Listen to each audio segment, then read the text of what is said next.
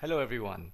I'm back with another chapter of Geography, Class 6, NCERT. Chapter 8 India, Climate, Vegetation and Wildlife. So from the heading itself, we know that in this chapter we are going to read about the climate, the vegetation and the wildlife of our country. So in the first page, we don't have much to read about except for the fact that how many major seasons are there in India. So we have winter, summer, rainy and autumn remember that. So the winter spans from December to February, the summer spans from March to May, and rainy comes from June to September, and then the autumn comes from October to November. Understanding it this way will be very boring, so what I'm going to do is I'm going to tell you in a very easier manner as to how to remember which part of the country has what type of vegetation and climate because most of the questions in the examination comes from this part. So if you have a thorough understanding about the basics, answering those questions will be just a walk in the park.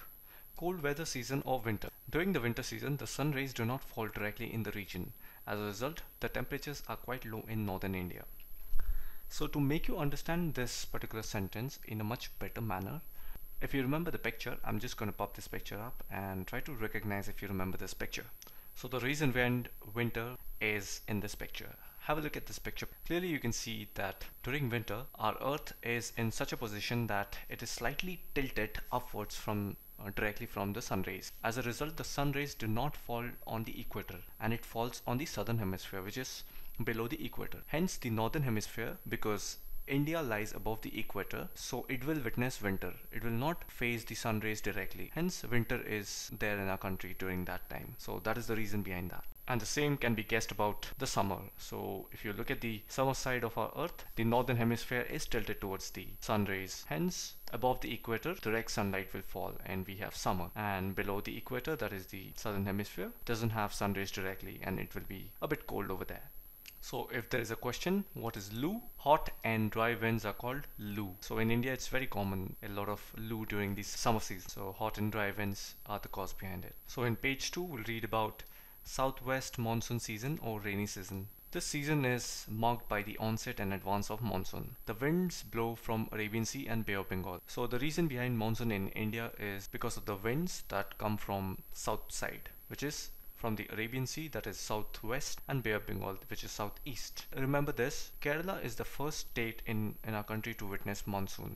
So if it has started witnessing rain then we, we all are rest assured that there's rain going to come in the next few days. So it's a very cool phenomena what happens is these winds when they come from Arabian Sea and Bay of Bengal they carry a lot of moisture because it's all over the ocean so it will carry a lot of moisture wind come from low pressure area to high pressure area so Oceans have low pressure. As a result, they move towards the landmass. And when they come towards the landmass, we have Western Ghats and Eastern Ghats. They are they have this huge chain of mountains. So when these winds strike the mountain barriers, rainfall occurs. And moisture is nothing but the amount of water vapor present in the air. So these water particles, when they get hit with mountains with solid rock solid mass, they break. These molecules break and hence rainfall occurs. It's as simple as that. So after the rainy season comes the autumn. Autumn is nothing but off going of monsoon when monsoon leaves. So winds move back from the mainland to the Bay of Bengal. This is the season of retreating monsoon. The southern part of India, particularly Tamil Nadu and Andhra Pradesh, receive rainfall in this season. So these states are the only states which receive rainfall while going and rest other while coming. The climate of India has broadly been described as monsoon type. Monsoon is taken from the Arabic word mawsam which means season. Due to India's location in the tropical region, most of the rain is brought by monsoon wind. So what do you mean by tropical region? Tropical region are those places that fall in between Tropic of Cancer and Tropic of Capricorn. Remember that. Coming to page 3, the climate of a place is affected by its location, altitude, distance from the sea and relief. So these are the four reasons which determine a climate of a place. And that is also the reason behind regional differences in the climate of India. For example, Jaisalmer and Bikaner, both of them are in Rajasthan, they are very hot, while Dras and Kargil in Jammu and Kashmir, they are freezing cold. And then we have coastal places like Mumbai and Kolkata, they experience moderate climate. They are not hot nor they are cold, but they are very humid because of the moisture humidity as they are close to the oceans and sea. So this is a general knowledge question. Which state receives the highest rainfall? Meghalaya.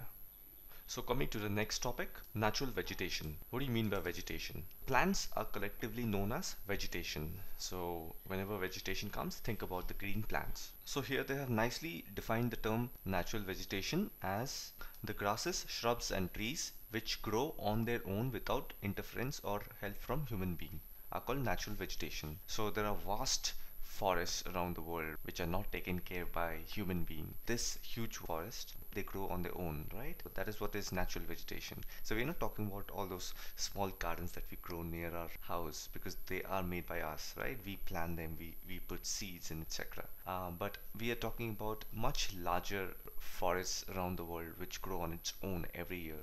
That is called the natural vegetation. So different types of natural vegetation are dependent on different climatic conditions, which are true, right? Where there is more rainfall, uh, the vegetation is going to be thick and dense and where there isn't much rainfall it's going to be empty not, there's not going to be much of vegetation due to varied climatic conditions India has a wide range of natural vegetation.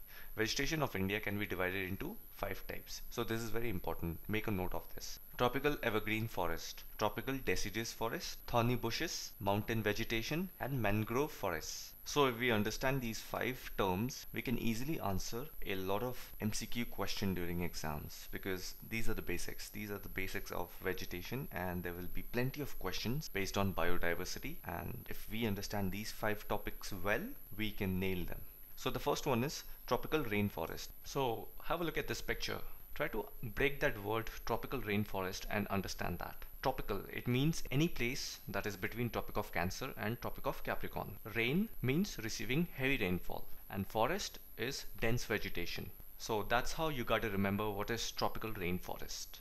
Some important trees that are found in these forests are mahogany, ebony and rosewood. Andaman and Nicobar Islands part of northeastern states and a narrow strip of the western slope of the Western Ghats are home of these forests. Have a look at this map. I'm just going to pinpoint everything and it will be easy for you to understand.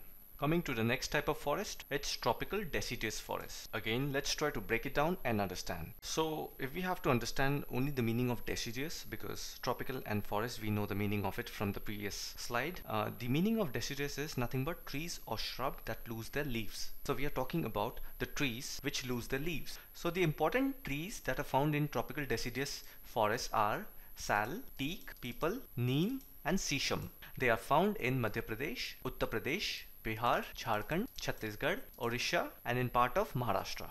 The next type of vegetation is thorny bushes. This type of vegetation is found in dry areas of the country, dry areas. The leaves are in the form of spines to reduce the loss of water. Cactus, khair, Babul, Kikar are important and are found in the states of Rajasthan, Punjab, Haryana, eastern slopes of Western Ghats and Gujarat. What I'm going to do is I'm going to pinpoint everything of it on a map. I'm going to put a link of that page where the map are, maps are going to be available that I put on this video and you can go ahead and download it and take a printout and keep it handy for learning purpose. The next type of vegetation is the mountain vegetation. By the name it is pretty evident that the type of plants or shrubs or trees live in mountain. We are talking about that kind of vegetation. A wide range of species is found in the mountains according to the variation in height. With increase in height, the temperature falls. At a height between 1500 and 2500 meters, most of the trees are conical in shape. Have a look at this picture. You'll understand what kind of conical shape we are talking about. These trees are called coniferous trees. So conical in shape and coniferous. You can see the resemblance. Coni and coni. So conical, which is in the shape of cone. Chir, pine and deodar are important trees of these forests. And the last type of vegetation is the mangrove forests. These forests can survive in saline water. What do you mean by saline water? Saline water is nothing but salty water. And what is the meaning of mangrove? They are nothing but those trees or shrub that are grown in saline water. Have a look at this picture and understand what I'm trying to say. And if you want to understand it even better, try watching this clip. Несколько узлов. Я могу управлять плотом, но не в силах справиться с течением. И если я окажусь неосторожным, меня вынесет... And that is what is mangroves. They are usually found in Panama, Vietnam, Philippines, near the coastal area. And the most important role of mangroves is that they protect the coastlines from wave action because they hold the soil together. Now let's quickly read why are forests necessary. Forests are very useful for us. They perform various functions. Plants release oxygen that we breathe and absorb carbon dioxide. The roots of the plant bind the soil, thus they control soil erosion. Forests provide us with timber for furniture, fuel, wood, fodder, medicinal plants and herbs, honey, gum, etc. Forests are the natural habitat of wildlife. Natural vegetation has been destroyed to a large extent because of the reckless cutting of trees. And have a look at this picture, you will see a wonderful cycle of uh, what we get from forest and why are they useful. So let's quickly move on to the next page. Let's talk about wildlife. Uh, forests are home to a variety of wildlife. There are thousands of species of animals and a large variety of reptiles, amphibians, mammals, birds, insects and worms which dwell in the forest. So tiger is a national animal. Then Gir forest is in Gujarat, which consists of lions, elephants, and one-horned rhinoceros roam in the forests of Assam. So rhinoceros are in Assam. Elephants are also found in Kerala and Karnataka. Camels are found in uh, desert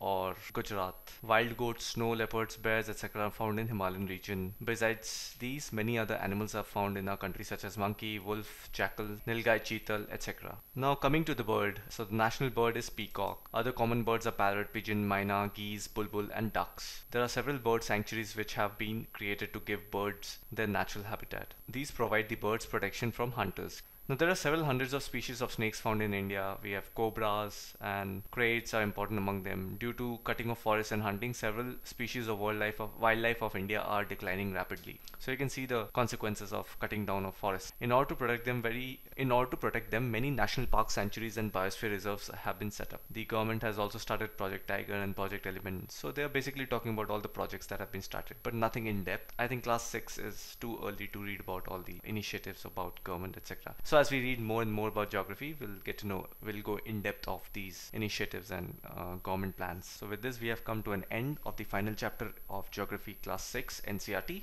So let's answer some questions. First question, which winds bring rainfall in India? Why is it so important? So the first part of it is southwestern wind. So remember we said the wind that comes from southwest that is Arabian Sea and Kerala is the first state to witness rainfall. So southwest is the answer. Why is it so important? So you can go on to uh, write the answer as to why rainfall is important to India. Because of rainfall we have uh, good agriculture good uh, irrigation and it is important for our forests to uh, develop and give food important from vegetation point of view. That's it. Second question name the different seasons in india. So we have four different official seasons in india. That is monsoon autumn winter and summer what is natural vegetation? So natural vegetation is nothing but the forest the forest in our country. All the green plants and um, shrubs roots etc trees that are grown that that all falls under natural vegetation. Fourth question name the different types of vegetation found in india. So we have let's let's just say whatever randomly comes in our mouth. One is tropical rainforest then we have tropical deciduous forest then we have mangroves and then we have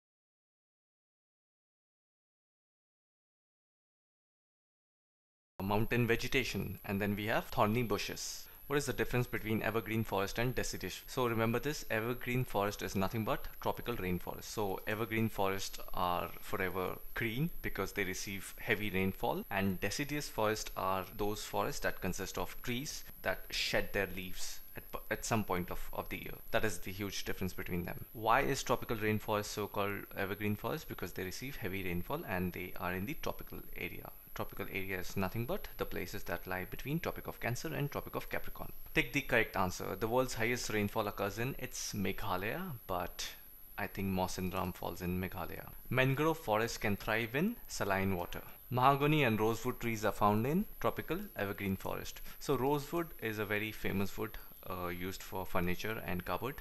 And it's very expensive so these woods they have a lot of moisture so moisture will only be there where there is heavy rainfall and rainfall comes in evergreen not deciduous so tropical evergreen forest wild goats and snow leopards are found in himalayan region during the southwest monsoon period, the moisture-laden winds blow from sea to land. Why? Because Indian Ocean and there is low pressure and low pressure from low pressure the wind moves towards high pressure and high pressure is towards the ground land mass. So it's sea to land and these water molecules contained in the moisture they go and hit the mountains of western Ghats and eastern Ghats and break into uh, monsoon that is water particles and thus monsoon comes. So this is how you can easily get a little bit of information from here and there combined together and get an answer. So this is how we build a knowledge base and try to give answers to as many questions as possible in the exams. If you like the video consider giving it a thumbs up and leave a comment below.